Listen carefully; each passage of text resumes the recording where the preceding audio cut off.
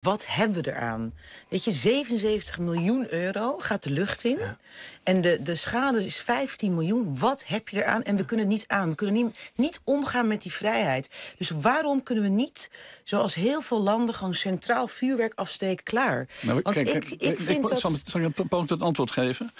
Er zijn, Nederland is, een, is een, in sommige opzichten, tamelijk veel opzichten, een land met rare gewoontes. En veel mensen zijn gehecht aan die gewoontes. En het kunnen gevaarlijke gewoontes zijn. Eh, en in toenemende mate zien we de afgelopen jaren dat er dingen eh, om reden van het milieu, om reden van het klimaat, om reden van diversiteit, om reden van dit, omdat mensen gekwetst worden. Er zijn tal van redenen waarom dingen die in Nederland heel gebruikelijk waren, goede, slechte, merkwaardige. Als het hier om gaat, is het veiligheid. Ja, ja, veiligheid. We zeker. kunnen het niet aan. Denk Aan Enschede, wat daar is gebeurd. We hebben net gehad over de, over de, de, de verkiezingsstrijd die, die begonnen is. Die, de verkiezingen zijn dit jaar of volgend jaar. Volgend jaar vol, in principe. En ik begrijp heus wel dat er politieke partijen zijn... en ik reken de VVD er ook bij... die niet zoveel zin hebben om naar de kiezer te gaan...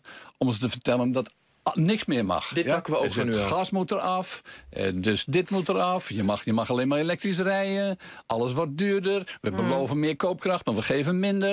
En dan moet Zwarte Piet weg. En dan moet ook nog een oude weg. Ja? Nee, nee, die blijft wel. dat Ja, blijft ja, wel. nee.